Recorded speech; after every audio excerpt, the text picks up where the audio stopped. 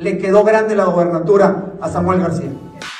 Diputados avalan revocar mandato de Samuel García en Nuevo León. ¿Qué tal? Bienvenidos, feliz tarde. Esto es Trending News, noticias que son tendencias. Soy Monique. Feliz martes para todos.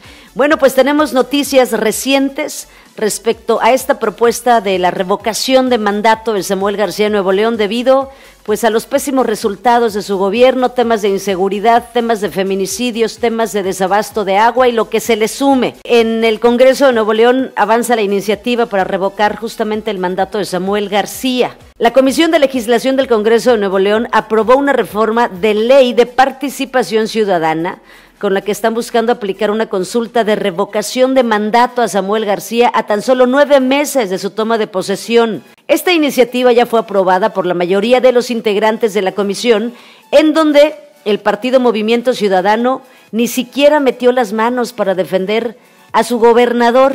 Y es que se abstuvieron de emitir su voto.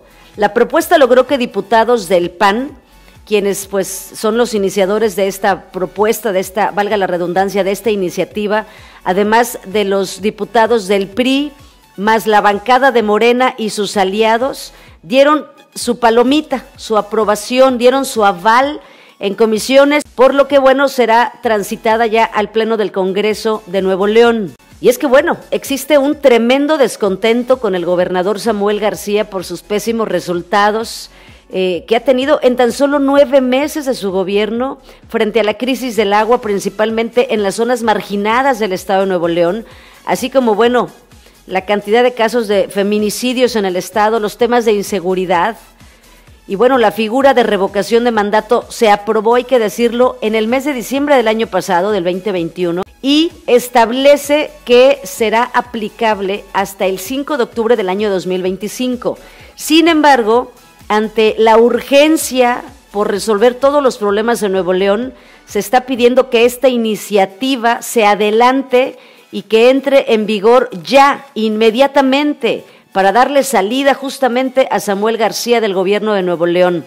Y bueno, lo que sigue ahora justamente es que tras ser aprobado este dictamen por la mayoría de los diputados, bueno, se pasará al Pleno del Congreso en donde se requiere ahora la mayoría calificada, es decir, que de los 42 diputados del Congreso, pues mínimo 28 la aprueben para que, bueno, esto se lance eh, a las calles, vaya, a manera de convocatoria y de consulta ciudadana para que justamente sea la gente, el pueblo, los neoloneses, quienes decidan si Samuel García se queda o se va de la silla de gobernador. En fin, esta nota sigue en desarrollo, por supuesto, y será en las próximas horas cuando trascienda si los 28 de 42 diputados o más de 28 diputados aprobaron que entre en vigor, pues ya, inmediatamente, esta propuesta de ley para que la gente eh, pues sea consultada, emitan su voto y decidan